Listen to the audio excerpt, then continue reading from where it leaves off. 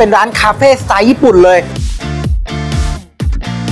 มันละมุนมากเลยอะ ยังเดาทางไม่ออก ของอร่อย หวานมันทำจากข้าว โด่งดังไปทั่วโลกเลยนะ นี่ก็เป็นอีกหนึ่งตำรับนะครับข้าวเหนียวแก้ว เคลือบด้วยมอคค่ารสชาติเข้มข้นข้างในก็เป็นเนื้อเค้กช่ำๆ very good นะแบบนี้เนาะพบกับอดเปรี้ยวกินหวานสัปดาห์นี้นะครับ